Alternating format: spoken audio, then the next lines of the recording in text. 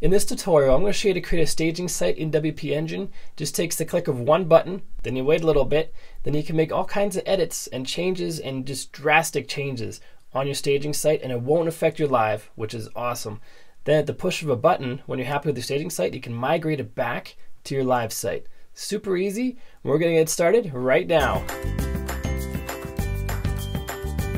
Hey, what's up guys? Welcome back to another video. It's Bjorn from WP Learning Lab, where we help you get better at WordPress so you can earn more for yourself, for your customers, and for your business. If you haven't done so yet and you like WordPress tutorials and tips and tricks, click the subscribe button, then click the bell notification icon so you don't miss anything.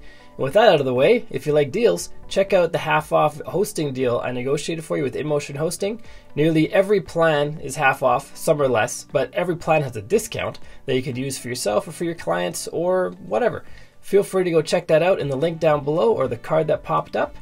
And with that out of the way, let's head to this tutorial. Setting up a staging site with WP Engine is really, really easy.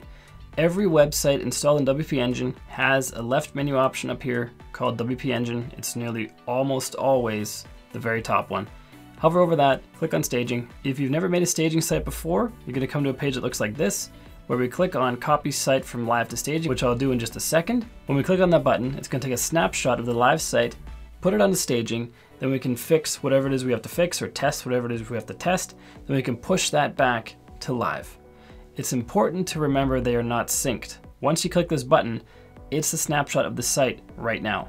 So if you have a site in staging for a longer period of time and your live site is continually updated with new content, new videos, new images, new whatever, when you copy back from staging to live, that new content will be overwritten. It won't be there anymore. So you want to make sure you don't keep stuff in staging too long if you plan on pushing it back. And once we have a site in staging, like we're going to do right now, we're going to go in and do a fix. Then we're going to push it back to live, but that staging site will still exist. It'll still be there and it will not be synced. The next time you want to put a site in the staging, you're going to click the copy site from live to staging button. Again, then it's going to take a snapshot of the live site at that point. So if you're going to do a lot of stuff in the staging, chances are you're going to copy from live to staging a lot if your site is updated a lot. That's just something to keep in mind. I'm going to go ahead and click on this button. And this usually takes a little while. Sometimes it's quick, sometimes it's fast, depending on the size of your site. But we are copying from staging. We get this message right here. It's being built in the background. It can take a long time, especially for large sites like I was saying. So we got to check back on this page every so often. We just come here, refresh the page, or we navigate back to the page, and we see status updates based on where we are. I'm just going to pause this video and I will come back when the staging site is complete. So after a few minutes, I came back to this page. So we initiated the creation of the snapshot at around 240.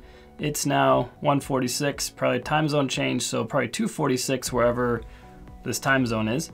So it took about six minutes to make this happen, which isn't that long. It's not a very big site right now, but we see that the page is different. We have the link to open the staging site, which we're going to go to in just a second. We have still the copy site from live to staging, and then deploy site from staging to live. These are two very important distinctions.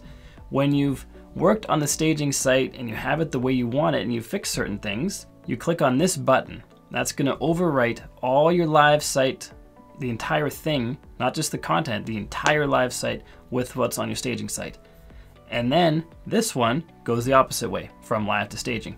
So when you're getting ready to click on one of these two buttons, make sure you read and pay attention to what they say because the outcome can be very bad if you push the wrong one. Now we're gonna go ahead and click on this link, which is gonna be our staging site link. It's gonna open the site in a new tab, and it's gonna be an exact replica of the website. And you're able to log in. If you go to the login page, the login is gonna be the same as the login on your live site. So I'm just gonna look up my password and then log in. And now we're in the back end and we now have the exact same replica, the exact same site on a different URL. This is our staging environment and we can blow this thing up as much as we want and live traffic is not going to be affected. Another important distinction between the two sites is if you have plugins or themes or something that's licensed for the live site, it's not going to be licensed for the staging site. So you may run into issues there. You may be able to contact the plugin developer or the theme developer and ask them to give you a temporary license because you're trying to develop something on the staging site and you can tell them you can shut down that license in 24 hours or whatever, just so they don't think you're trying to get a free license to use however you want. Uh, also, search engines are discouraged.